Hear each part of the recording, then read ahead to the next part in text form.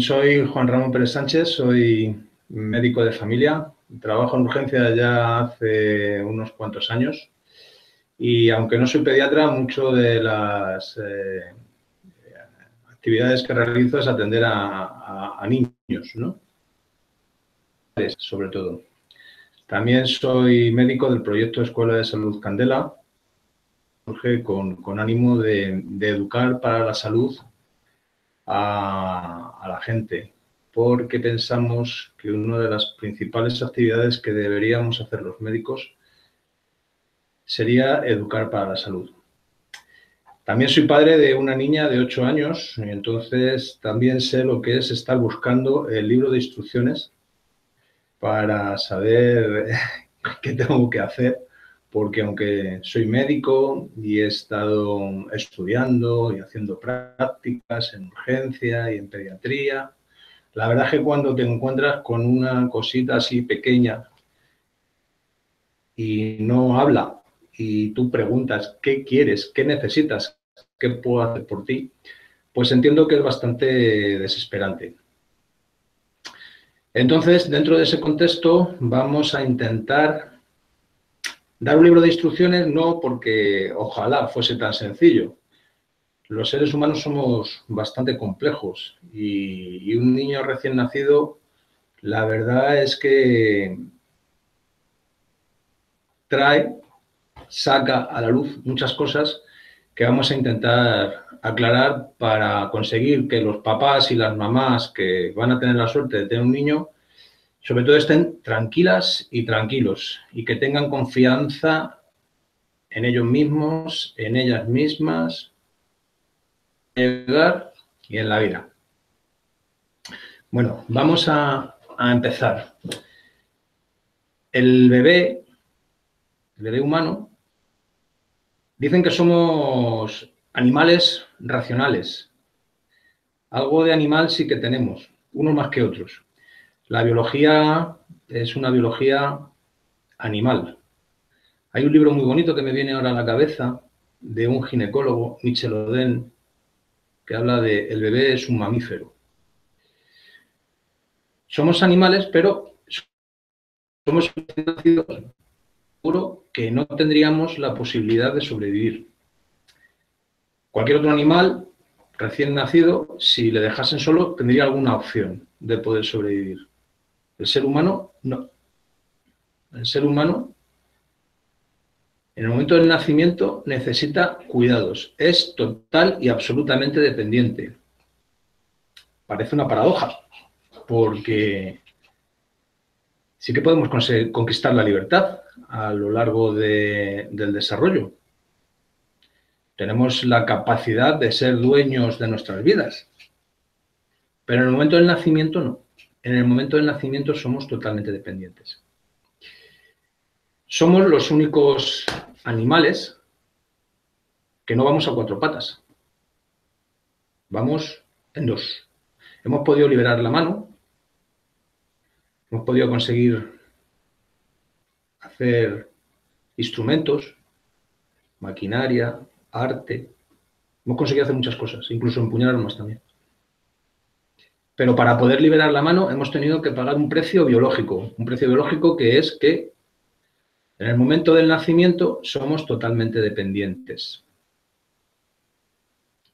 La hembra, la mujer, que también anda a dos patas o a dos pies, ha tenido que pagar también un precio. ¿Por qué es dependiente el, bebé? Porque no ha podido acabar su periodo de formación. No ha podido acabar el embarazo. ¿Cómo así? Se preguntará alguien. Me estoy refiriendo al embarazo intrauterino, al embarazo que hay dentro del útero, que dura nueve meses, porque claro, más allá de nueve meses, supongo que esto las mujeres que han estado embarazadas me entenderán bien. Más allá de nueve meses, la estructura corporal de la, mujer no, no, podría soportar. Porque la bipedestación, para poder liberar la mano y poder tener una estructura que nos soporte en los pies, ha tenido que haber una serie de modificaciones en la estructura ósea, en la columna vertebral, en la cadera, permitiría que, el embarazo durase más allá de, de nueve meses. Tendría que durar mínimo un año o dos hasta que el bebé ya puede andar y caminar por sí solo, que es lo que le pasa a otros animales, ¿no? Eh, hay documentales, hemos visto creo que todos documentales en el que muy bonitos, el, caballo que nace y lucha ahí y se pone de pie y ya casi que prácticamente empieza a correr. Eso con nuestros hijos no ha pasado, han estado un año en brazos porque eran totalmente dependientes y eran totalmente dependientes porque biológicamente hemos tenido que pagar un precio para luego, posteriormente, poder conseguir la, libertad. ¿A dónde quiero ir a parar? Pues que en el momento del parto el niño no se ha acabado de formar. No se ha acabado de formar y en el momento del parto podríamos decir que el embarazo continúa. Aunque el bebé esté ya fuera de la tripa de la mamá, hasta ese momento eran dos en uno. Ya parece que son dos pero no es así. No podemos dejar al niño muy, muy abandonado o, muy solo o alejarnos mucho, porque eso seguramente que las mamás lo notarán. Notan como una desazón de si no están cerca, cerca del niño, sobre todo recién nacido. Otras culturas que hemos llamado a veces salvajes, ¿no?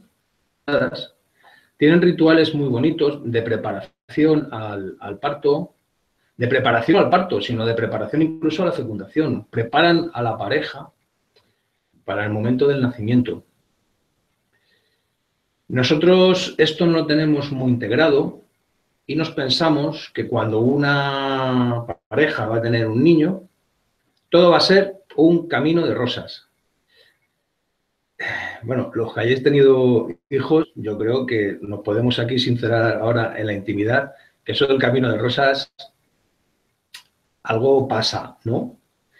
Cuando aquí preguntamos a alguna pareja que acaba de tener un niño, ¿qué tal? ¿Qué tal ha sido la experiencia? ¿Qué tal? Dicen, bien. Nosotros nos echamos una sonrisa porque, bueno, bien, sí, bien, bien, mucha alegría, mucho movimiento, porque de repente nos vemos en, los brazos, en las manos, una cosita hermosa dentro de nosotros y que no se ha acabado de formar. Y que igual que estaba dentro del vientre de la mamá desde un aspecto físico, cuando está fuera, sigue conectado con la mamá. Es decir, no se ha acabado de formar y estaríamos hablando de dos en uno. Estaríamos hablando de que a las mamás, cuando hablamos con ellas, muchas veces tienen como esa sensación de confusión que a veces no, no comparten con nadie, pero se encuentran raras. Hay autores que hablan que durante el embarazo se produce un verdadero estado de alteración de la conciencia. Desde luego, hay unos cambios fisiológicos porque hay dos en uno a nivel físico cuando el bebé está dentro del cuerpo de mamá, pero es que sigue siendo dos en uno cuando el bebé está fuera del cuerpo de mamá. Porque de alguna manera la biología se tiene que asegurar de que la vida continúe y de que esa nueva vida que ha llegado a, florecer, que está a punto de, de empezar a caminar, es, tengan suficiente cuidado y la suficiente protección. Entonces se establecen una serie de lazos invisibles. Es como si el cordón umbilical físico que en el momento del nacimiento se corta y lo separa físicamente, hubiese un cordón umbilical invisible que no ha desaparecido y que sigue conectando con la mamá. ¿A dónde quiero ir a parar? Os quería transmitir lo primero confianza y tranquilidad, ¿no? Entonces, lo primero, confianza y tranquilidad, porque si el bebé ha llegado, es una maravilla poder estudiar todo lo que hace falta para que un bebé nazca. Y si el bebé ha nacido, esa señal más poderosa de que todo va a ir bien. Si no obstaculizamos, si no ponemos obstáculos. ¿Qué quiero decir con esto? Que la biología lleva muchos años, la vida lleva muchos años de evolución y ya ha encontrado los mecanismos necesarios para que el ser humano haya pagado un precio por poder ir desde la dependencia hacia la libertad, a nivel incluso anatómico, incluso a nivel físico, pero ya sabe de caminos biológicos que llevan a que el niño, cuando nazca, esté sano siempre y cuando esté unido a la madre. Otra cosa es la cultura que tenemos alrededor, que muchas veces lo que hay en la cultura, lo que hay alrededor, el medio ambiente en el donde estamos, no está facilitando que se produzca un desarrollo biológico natural. La mamá, cuando está en el embarazo y el parto, lo ideal es que estuviese en un estado que nosotros los médicos llamamos de hiperparasimpaticotomía, que es una palabra rara, que viene a decir que es un estado de relajación y donde se está nutriendo. Se está nutriendo el bebé y la madre. Es decir, el estado ideal de embarazo sería el estado en que la mamá estuviese rascándose la barriga y estuviese tranquila. Y de esa forma estaría generando el contexto adecuado para cuando llegara al parto, pudiese ser un parto también tranquilo y pudiese ser un posparto también tranquilo. Esas condiciones, por la cultura, por lo que nos ha tocado vivir, por muchas veces no se dan y ahí es donde está un poco el kit de la cuestión. Lo que yo os quería transmitir en cuanto a que cómo se puede tener confianza, cómo se puede estar tranquilo cuando estamos en una cultura o en una sociedad que constantemente está bombardeando con mensajes muchas veces de miedo. Problema. Digo de miedo porque aunque se intenta avisar de cuidado con esto, precaución con esto, muchas veces lo que se disparan son las señales de alarma y lo que hacen es que esas señales de alarma que vienen por todas partes sacan a la mamá de ese estado de relajación en el que debería estar y ahí es donde está el ruido o el obstáculo que puede llevar a que muchas veces los papás vayan a las consultas de urgencias a decir, ¿qué le pasa a mi hijo? ¿Dónde está el libro de instrucciones? No sé lo que ocurre, no sé lo que pasa, el niño está llorando. Que alguien me ayude, por Dios. ¿Qué ocurre? Como decía, si el niño y la mamá son dos en uno, muchas veces no es lo que le pasa al niño, muchas veces es lo que le pasa a la mamá. Con esto no quiero echarle las culpas a la mamá, por Dios. Con esto quiero que las mamás puedan comprender que si la vida les ha regalado un bebé y el bebé ha nacido, eso ya es la garantía de que todo puede ir bien. O hay muchas probabilidades, muchas posibilidades de que todo vaya bien. Y como les digo yo a las mamás muchas veces y todas me dicen que sí, les digo, tú no tienes como una vocecita dentro que te dice lo que tienes que hacer y que a veces la escuchas y otras veces por el ruido que hay fuera no la escuchas. Y la mayoría de ellas dicen que sí. Esa vocecita, llamarla como queráis, pero es el instinto maternal de millones de años de evolución y ese instinto maternal sabe mucho más que todos los médicos y pediatras juntos y sabe mucho más que todas los familiares y las abuelas y los tíos y los familiares, que yo no sé si sois conscientes, os habéis dado cuenta, de cuando uno tiene un niño, todo el mundo sabe lo que tiene que hacer uno con su hijo. ¿No os ha pasado? Y todo el mundo te viene a decir, y todo el mundo viene a montar ruido, todo el mundo viene a, a decirte, y eso muchas veces saca a la mamá de ese estado de tranquilidad en el que debería estar con su bebé disfrutando. Biológicamente hablando. Culturalmente hablando, ocurren estas cosas. Ocurre como esta disociación. Por un lado, mamá está preparada para traer al niño al mundo y darle todo el cuidado y todo lo que necesita sin más, gratis. Y por otro lado está la cultura que mete mucho ruido y mete mucho miedo. Entonces tenemos mamá y el niño, que siguen siendo dos en uno, a nivel casi físico, aunque el niño ya esté fuera, pero el niño no se puede valer por sí mismo, y depende total y absolutamente de mamá. En cuanto a la nutrición, ¿cómo se nutre el niño? ¿Cuál sería el ideal? La lactancia materna, que algunos autores denominan el segundo embarazo o el embarazo extrauterino porque el niño ya está fuera del embarazo. ¿Y qué ocurre ahí? Pues ahí ocurre que se está generando una relación de dos en uno, casi que de pareja, dos en uno, mamá y el niño. ¿Y qué pasa con los papás?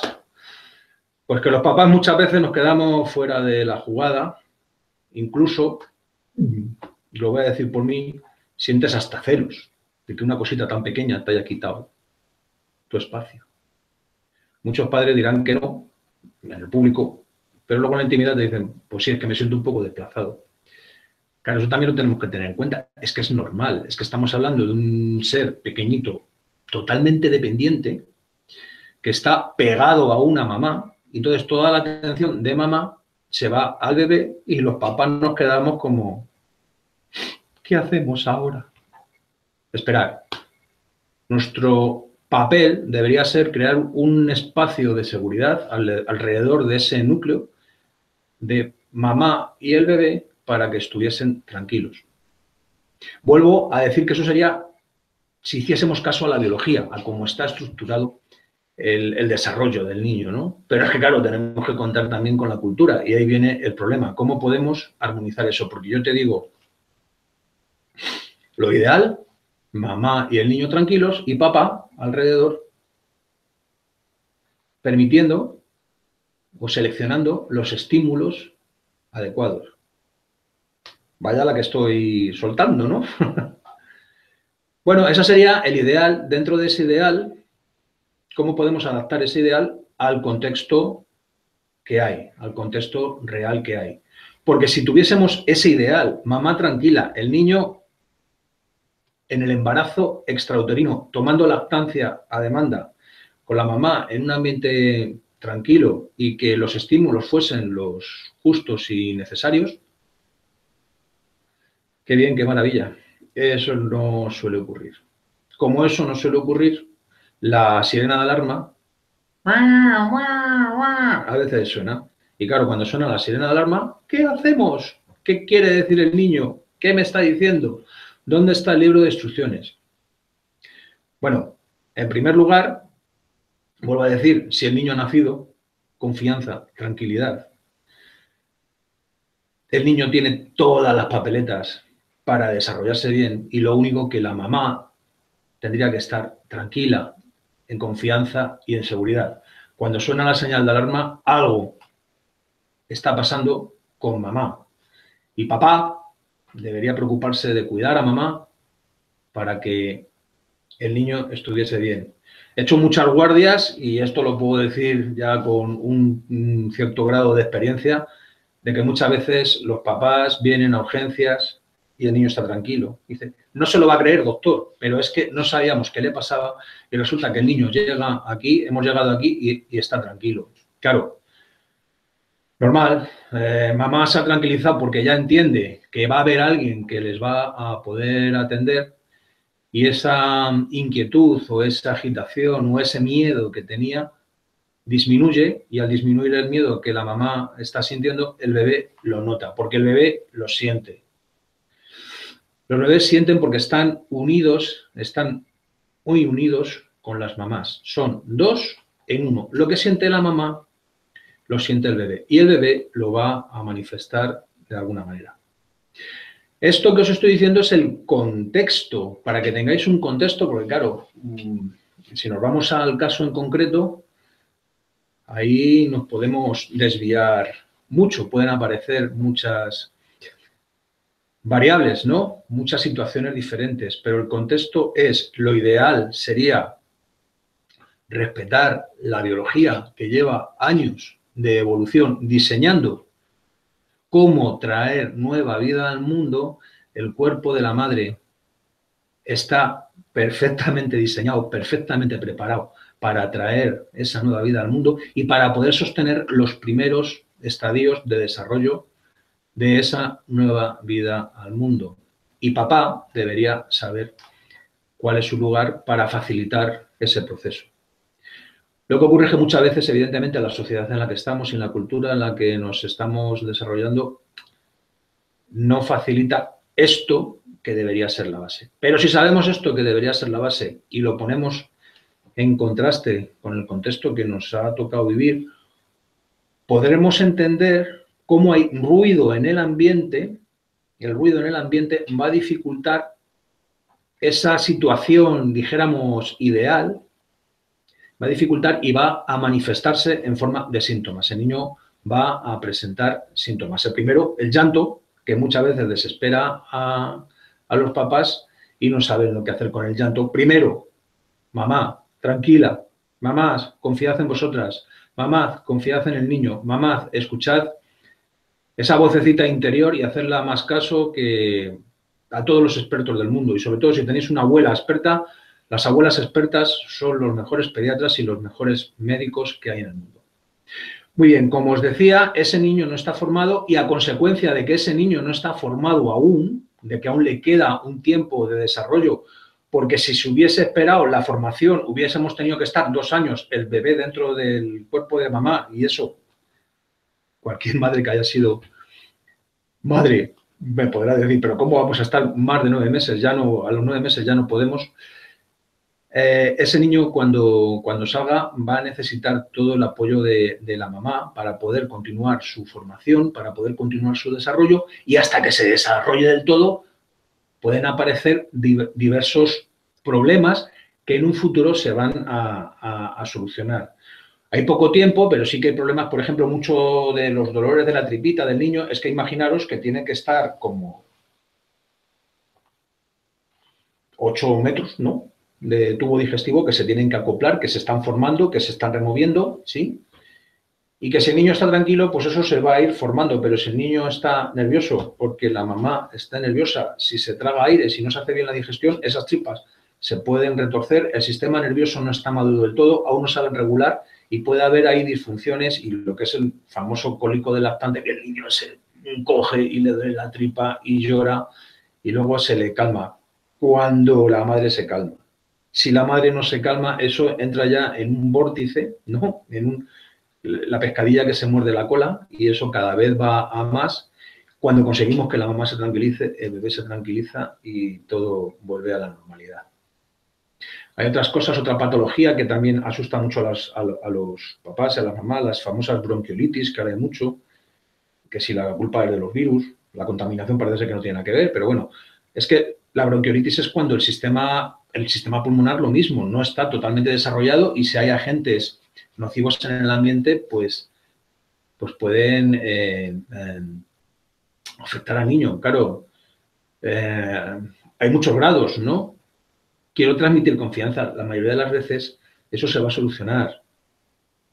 No puedo decir al 100% porque el arte de la medicina general es el arte de manejar la incertidumbre e incluso el arte de la vida es el arte de manejar la incertidumbre. Y claro, cuando tú ves que tu niño tiene cierto grado de dificultad respiratoria, claro, para los papás siempre se está hablando, para los médicos ya cuando lo vemos, depende, la mayoría de las veces no es así. Pero las bronquiolitis, que era lo que os quería comentar, no dejan secuelas. Las bronquiolitis son cuando el cuerpo, cuando el bebé aún no se ha acabado de formar.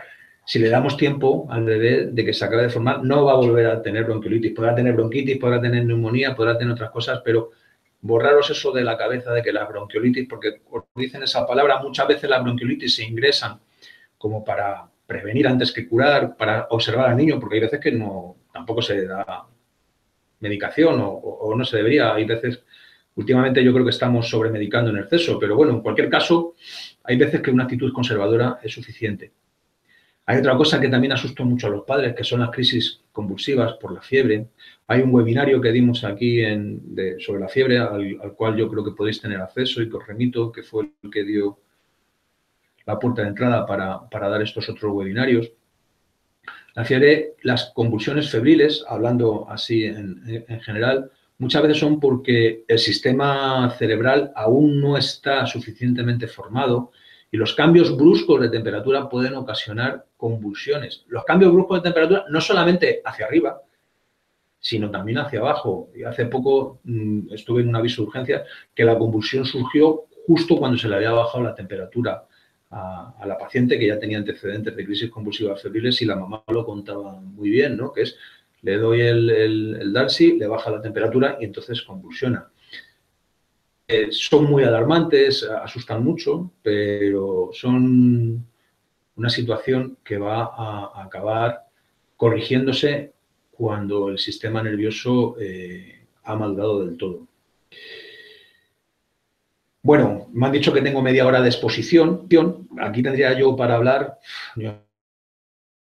porque es un tema que me apasiona, porque cuando iba a ser padre, pues me puse a empollar muchas cosas y, hubo muchas cosas que, me cambiaron cuando leí ciertos libros. Uno que os aconsejo, por ejemplo, es ese, ¿no? El, bebé es un mamífero de Michel Oden. Hay mucha literatura al respecto. Eh, lo que os he querido dar es un contexto de, no sé si lo he conseguido, porque claro, media hora es poco tiempo sobre todo cuando eres primerizo, ¿no? Tranquilidad, confianza, seguridad, lo vais a hacer bien, porque hay millones de años de evolución que nos avalan. Lo único, el problema es las imágenes que nos hacemos que siempre nos ponemos en lo peor. Cuando digo seguridad, tranquilidad, confianza, no os estoy diciendo que no vayáis al médico. Si tenéis duda, preguntad al especialista. Pero desde una base de tranquilidad, de confianza, de no agobiaros, no agobiaros, porque el agobio, dos en uno, el agobio lo va a notar el bebé, ¿sí? Entonces, partir de la base de que seguramente todo vaya a ir bien, Digo seguramente por lo que os estoy diciendo es que en esta vida no hay nada seguro, pero si el bebé ha venido a la vida, tiene todas las probabilidades de que vaya bien. Y dentro de ese contexto, si no tenéis una abuela experta cercana a la que consultar, si no tenéis una voz interior fuerte, potente, una intuición de que saber lo que tenéis que hacer, preguntad al médico, pero desde un clima de confianza, de tranquilidad y de seguridad. Bueno, como os digo, podría estar hablando mucho, pero tampoco quiero divagar. Creo que he podido decir así lo que, me, lo que quería deciros como más, eh, más de una forma más, firme. Y me han contado que la siguiente media hora pues podréis hacer preguntas a las cuales yo estaré encantado de, contestar porque creo que, que puede ser más rico. Una vez que tenemos ese contexto de entender que el embarazo humano difiere del embarazo de otros animales porque, claro, tenemos la postura de la bipedestación. Eso hace que cuando viene el parto, cuando viene el nuevo ser al mundo, sea una persona totalmente dependiente porque el embarazo realmente no ha acabado. Hay un embarazo extrauterino que sería la lactancia materna. Fijaros que incluso se está hablando de incluir la lactancia materna dentro de la Carta Universal de Derechos Humanos. No es eh, una cuestión baladí, ¿sí? O sea, que dentro de los derechos de todos los seres humanos, uno sería que pudiese tener acceso a, la lactancia, que es un tema también para hablar algo y tendido. Que durante la lactancia mamá y el niño siguen siendo, que durante ese tiempo el papá, los papás deberíamos aprender a ocupar nuestro lugar, cosa que es bastante difícil porque ha aparecido un tercero que hasta entonces no estaba y que mm, si nos fijamos en que tenemos millones de años de evolución, que la biología aprende y que la biología ha aprendido a tener un plan y un diseño, traer niños al mundo y para poder mantenerlos, no nos agobiemos, confiemos más, no tengamos tanto miedo. Es fácil decirlo, ¿no? Más difícil hacerlo.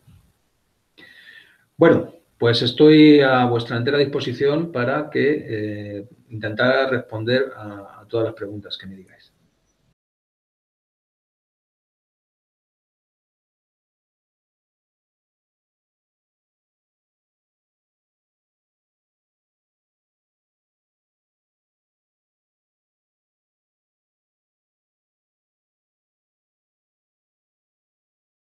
La lactancia ya os he dicho que es un tema también para hablar y luego, claro, están los expertos, los otros expertos, los demás expertos. Yo te voy a dar un poco mi opinión personal que está basada en, artículos que he leído, en libros que he leído y sobre todo también en la, experiencia personal, ¿no? La experiencia personal no de dar lactancia a, a mi bebé porque no. Una vez lo intenté, que no estaba la madre y me quedé solo con la niña durante un corto periodo de tiempo, pero empezó a tener hambre, empezó a tener hambre, empecé a llorar y claro, eh, los que sean hombres y han tenido niños me podrán entender el grado de desesperación cuando el niño llora, madre cerca y le puedes dar el bebé a la madre, eso ya como que no sé qué, pasa, pero el bebé se tranquiliza. Pero yo estaba con mi hija solo, eh, no sabía ya qué hacer, no sabía cómo calmarle, como no estaba tomando biberón, no tenía biberón para darle, entonces se me ocurrió una cosa loca, que fue darle el, pecho yo evidentemente la niña me enseñó en vivo y en directo que que tiene que dar el pecho es la madre, ¿no? que yo ahí no tenía nada que hacer. Y mi hija lo que tomó fue lactancia a demanda. Es decir, cuando ella quería tomar lactancia, tuvimos la suerte de que su madre decidió dedicarse en exclusiva a, ella, que eso no siempre se puede hacer, pero eh, mi hija tuvo esa, esa gran bendición y nosotros lo que hicimos fue la estancia a demanda. No hacíamos cada dos horas, cada tres horas, no cronometrábamos cuando ella tenía que, que, hacer las tomas. Entonces, según ella iba tomando el pecho, ella iba dirigiendo el ritmo. Yo lo que te podría aconsejar desde mi perspectiva, desde mi opinión, desde mi experiencia, la lactancia tiene que ser a demanda. Si el bebé está ganando peso adecuadamente y el bebé está feliz, mm, ya está, no, yo, no, yo no la despertaría por las noches. Lo de espaciar las tomas, sobre todo cuando se introducen nuevos alimentos, pues ahí evidentemente se van a ir espaciando cada vez más. Aprovecho ya para decir algo que espero que no me lo tengan aquí grabado con respecto a lo de eh, tomar los alimentos. Yo hice caso o leí que se podía confiar en la intuición de los bebés y yo con mi hija sí que lo puse en práctica. Entonces mi hija comía con nosotros en la mesa y ella echaba la mano. Ya sabéis que los bebés suelen echar la mano a todas partes, ¿no? Pues cuando ven comida, pues echan la mano y lo que veíamos que ella cogía, se llevaba a la boca y comía, pues eso era lo que eh, le dábamos de comer por eso de la sabiduría instintiva que está, que yo creo que está, que la constatamos todos los días, pero que no hacemos caso. Y recuerdo como anécdota, que por eso me tapaba los ojos en la mesa y mi hija debía tener como mano a los langostinos. Y claro, la madre dijo, pero es que los langostinos no están en las tablas para dar a los niños a los seis meses. Dijo, bueno, parece que le gustan y le gustaron porque se comió no sé cuántos langostinos, yo con un cargo de conciencia tremendo, porque decía, ¿cómo puedo dejar a mi hija comer langostinos? Yo que soy médico con seis meses y bueno, no la pasó nada. A veces tenía langostinos por la mañana o al día y, no los comía. Tuvimos confianza, o yo tuve confianza en eso que en, algún, en muchas partes he leído, del instinto, ¿no? de, de esa sabiduría innata, de esa conciencia biológica que está ahí, sin intervenir, y mi experiencia personal, mi hija no ha tenido alergias, no ha tenido problemas de piel, no ha tenido problemas de diarrea, ni ha tenido ningún tipo de problema en ese sentido. Entonces, cerrando, la lactancia, yo aconsejaría lactancia materna a demanda en lo posible.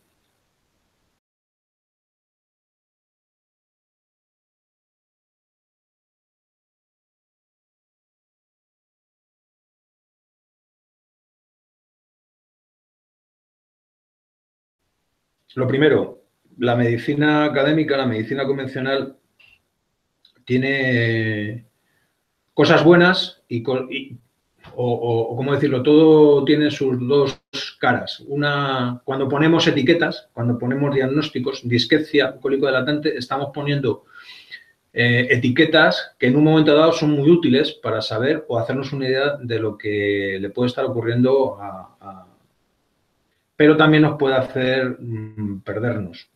Tanto una discrecia como un cólico de lactante, en última instancia, lo que están traduciendo es lo que he comentado antes, que es una inmadurez del, del, del desarrollo del tracto digestivo, más concretamente de lo que es la inervación del tracto digestivo. ¿Qué ocurre? Que esa inervación puede estar relacionada, porque es una equilibrio entre lo que es el sistema nervioso simpático y parasimpático, eso puede estar relacionado con situaciones emocionales. Puede estar relacionado. Entonces tenemos como dos elementos. Primero, una deficiente maduración o incompleta maduración por el propio desarrollo del, bebé, que eso es normal. Y por otro lado, si puede estar eh, habiendo eh, una influencia emocional. Emocional son, para entendernos, los famosos nervios en las tripas, ¿no? Todos tenemos la experiencia de ante una situación de nervios como puede ser un examen, tener diarrea, pero también está el otro, ¿no? Eh, tener estreñimiento, ¿sí?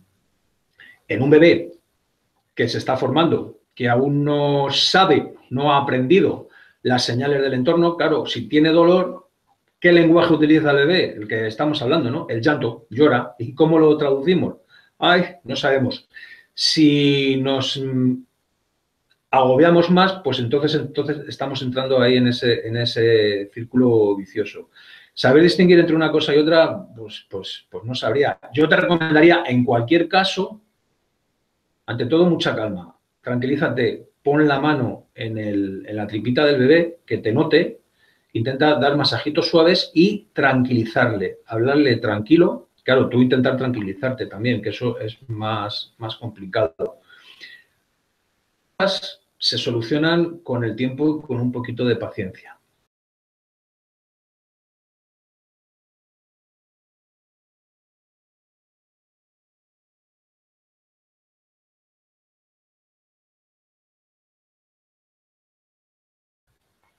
Bueno, pues creo que te he respondido un poco a esas dos preguntas. Cada persona es un mundo, cada bebé es un mundo y claro, lo ideal que sería, la lactancia yo creo que es un periodo duro, duro. Y si fuésemos una sociedad avanzada, creo que es en Dinamarca, creo recordar, no me acuerdo, o algún país nórdico, que el, que el permiso por maternidad, que no es baja, porque la maternidad no es una enfermedad, es una situación especial, pero el permiso por maternidad son cuatro años, porque se han dado cuenta de que si las mamás pueden estar con los niños durante el proceso de desarrollo y se les facilita eso, hay eso que se llama la, mm, eh, ¿cómo se, mm, ahora se me, ha, se me ha ido el, el, nombre, ¿no?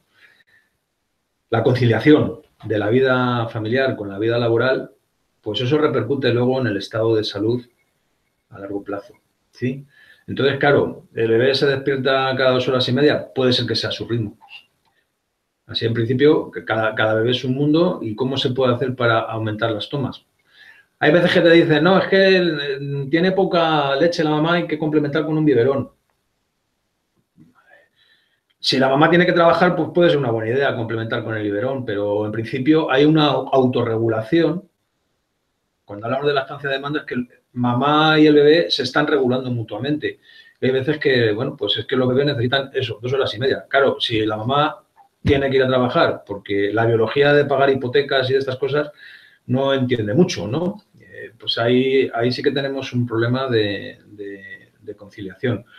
Lo que te podría decir es, depende, eso, cada, persona es un mundo y cada situación familiar es un mundo. Hay veces que, que hay que, yo te estoy exponiendo una cosa que puede ser idílica, pero, pero hay veces que a lo mejor dices, pues es que hay que cambiar la lactancia materna por un biberón, sobre todo si ya han pasado los seis meses que se, se recomiendan, ¿no? Eso es difícil de contestar. ¿Cómo alargar las, las, las, tomas? Si estamos hablando desde el punto de vista meramente biológico, puede ser normal. Puede ser perfectamente normal que cada dos horas y media se despierte, igual que otros niños, pues eh, hacen la toma y, duermen del tirón. Esos suelen abundar poco y esos son los que nos gustan a todos los padres.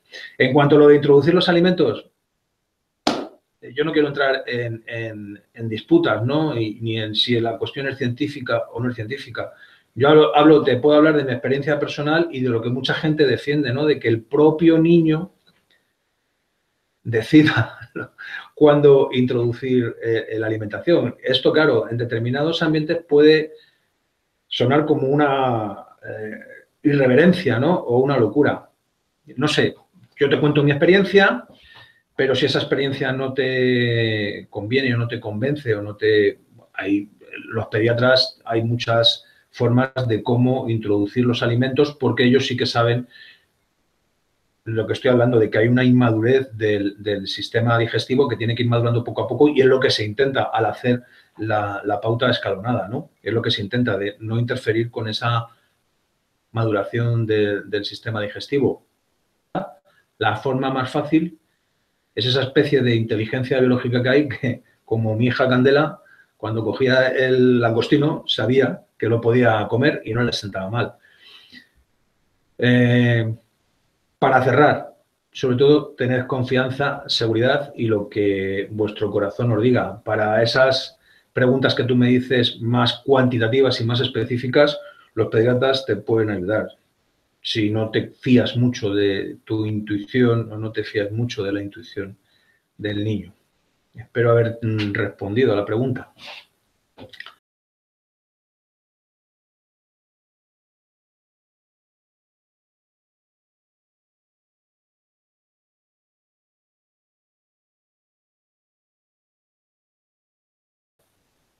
Te voy a responder a la gallega. ¿Eso le está provocando algún tipo de o de alteración? Porque, no sé, eh, la pregunta, ¿por qué duerme tu bebé con la lengua pegada al paladar? ¿Será que lo observas demasiado? No sé. Tendría que saber si el niño tiene algún tipo de, alteración. En principio, puede ser una cosa normal.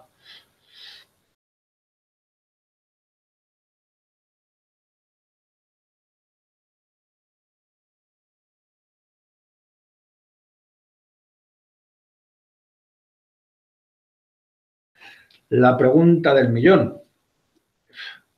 La vacunación indiscriminada. No sé a qué te refieres exactamente con la vacunación indiscriminada.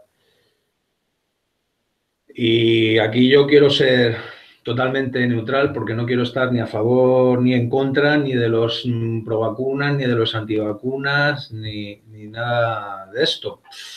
Yo te puedo dar una opinión. En los recién nacidos hay algo que, que yo no he acabado muy bien de entender que es recién nacido eh, poner la vacuna de la hepatitis B.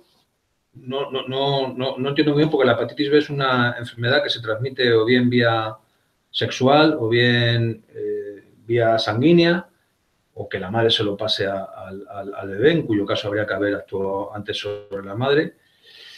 Y no entiendo muy bien un ser que está en desarrollo, que aún no se ha acabado de desarrollar, ponerle esa vacuna. Yo para cualquier vacuna, creo que siempre esperaría al menos, al menos seis meses. Mm. Otros hablan de dos años. Eh, siguiendo el hilo de, la exposición que estoy haciendo, si el bebé son dos en uno, eh, la mamá tiene el bebé dentro de la tripa, cuando el bebé sale le está dando aún a través de la leche y a través de la leche le estás pasando anticuerpos, defensas y demás, yo es que soy un firme defensor de, la lactancia materna, ¿no? Entonces, se puede esperar a, vacunar, te diría que hasta los dos años, y luego cada uno, cada uno tomase una decisión responsable, porque yo creo que, claro, con los temas estos delicados, aquí, por un lado te dicen que protege de enfermedades, es cierto, por otro lado te dicen que tienen efectos secundarios, también es cierto, porque no conozco ningún medicamento que no tenga efectos secundarios. Entonces, responderte a una pregunta sobre las vacunas en tan poco tiempo, no me atrevería. Yo te podría dar así como, como pauta, ¿no? o que yo creo que es, eh, dijéramos, prudente, pues esperar un tiempo, yo creo que prudencial, que sería a, los dos años.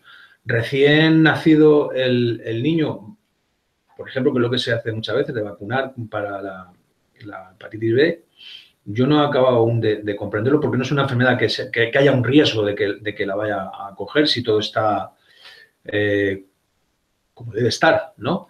Y ya el resto del calendario vacunal, yo no me voy a poner a discutir con, con expertos, lo único que a lo mejor te puedo aportar es el momento, ¿no? De la vacunación.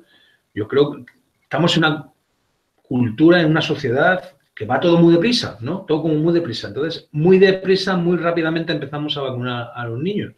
Sin entrar en, sin estar a favor ni estar en contra, ¿qué problema hay en esperar un, poco de tiempo? No sé si te he podido contestar bien a la pregunta. Espero que sí.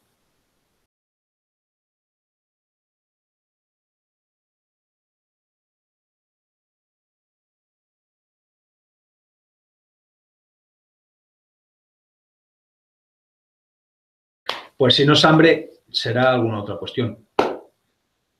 Eh, claro, nos creemos que la lactancia es solamente dar de comer, no solo de pan y del hombre. En la lactancia hay más, el contexto es más amplio, ¿no? Porque no solamente estás proporcionando alimento físico, sino que también estás, estás proporcionando más cosas. Entonces, mm, si os estáis planteando separar a, la niña, ¿no? De, ya que duerma con su padre, ya que se separe de, la lactancia y tal, claro, la pregunta sería, ¿la mamá cómo está viviendo eso? De la, de la vivencia, como cada persona es un mundo, como cada ser humano es un mundo, ¿qué se está moviendo dentro de la mamá? No sé, hay hay, pregunto, no afirmo nada, ¿no? Hay culpabilidad, hay miedo, hay lo estaré haciendo bien, hay dudas, no sé qué es lo que puede ocurrir, porque evidentemente si no es una cuestión de que no es por hambre, bueno, ¿qué es lo que hay? Entonces, claro, lo primero, bueno, mamá, ¿qué es lo que hay? ¿Qué es lo que se está moviendo dentro de ti? Y soluciona eso. Cuando digo soluciona eso es, una cosa es lo bueno o lo mejor, pero es que, como yo hay una frase que digo, lo mejor es enemigo de lo bueno. La situación familiar de cada familia de cada persona es un mundo. Entonces, la lactancia es un proceso durito, sobre todo si hay que trabajar. Entonces, claro, ¿cuál es la situación sistémica? No te, puedo dar una solución fácil. Nunca nosotros aquí en Escuela de Salud Candela damos soluciones. Ayudamos a que cada uno lo, la tome, ¿no? Pero mi pregunta sería, ¿cómo estás viviendo tú esa, futura ah, separación y luego toma la decisión que tengas que tomar porque mira, hay una cosa que está clara, no sé, si, si tienes que trabajar para pagar la hipoteca, es muy importante que el niño tenga una casa que esté pagada, ¿no? Que no haya desahucios y, estas cosas que suelen ocurrir. Entonces toma la decisión que tú creas conveniente, la que tú creas conveniente, y explícasela a, a, tu hija, pero desde la tranquilidad que tú ya has tomado la decisión, sea la que sea. Porque si no hay una situación de que la niña es que no tiene hambre porque come, bueno, puede ser una situación emocional. Claro, ¿qué emoción se está moviendo ahí? Bueno, ante una situación de estamos preveyendo que vamos a dejar la lactancia, ahí hay una dinámica muy compleja que quien tiene que tener la firmeza o la seguridad de la decisión es la mamá y poderlo transmitir al bebé. Cuando la mamá consigue transmitir esa seguridad al bebé, yo creo que, que la cosa cambia.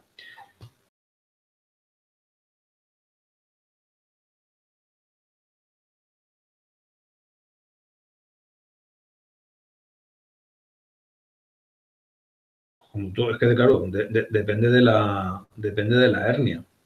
Ahí ya casi que me has pillado, ¿eh? Porque yo tampoco soy pediatra, trabajo en urgencias y no quiero dar aquí datos falsos, pero si es una hernia no complicada, no complicada, porque hay, hernias que, depende de cómo sea la hernia, hay hernias que tienen que ir a, cirugía, pero si no es complicada es lo que te comentaba antes, ¿no? Eh, ¿Cuándo se acaba de formar el niño? Pues el niño necesitaría para la formación completa, dijéramos, dos años, ¿no? Más o menos. Los nueve meses de embarazo más el año que tarda en, más en, andar, ¿no? Que por ahí está la cosa. Entonces, te diría si escuchándome me corrija, pero como al año de edad, lo suyo es que se hubiese corregido, ¿no? Si estamos hablando de una hernia umbilical, es un defecto de cierre por donde mm, sale un poquito de contenido de la cavidad abdominal y es de un grado que, va a revertir, porque hay otras veces que si es más grande, pues, pues hay que reforzar hay que ir a, cirugía. Pero bueno, por darte una cifra, yo te diría que, que en un año, si no ha habido complicaciones, si no hay otras ingredientes en lo que tú me estás contando, estate tranquila.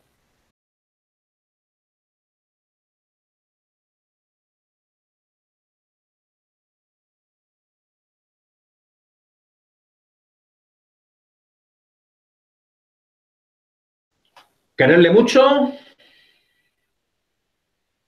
Luego, hay una cosa que estaría, eh, sería importante, es mantener la cabecita siempre cubierta con alguna prenda así tipo algodón, prenda natural, porque ellos son muy sensibles a, los cambios de temperatura, necesitan estar calentitos. Entonces, mm, aún no tienen la regulación de la temperatura como todo, como son inmaduros, ¿no?